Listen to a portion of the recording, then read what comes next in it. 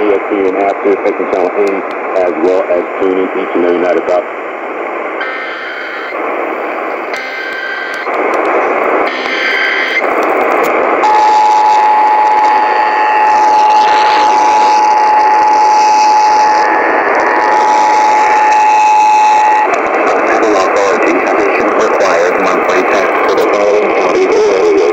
Minnesota at 10:42 p.m. on February 2nd, 2022, effective until 11:42 p.m. This is a coordinated test of the emergency alert system in cooperation with the local broadcasters.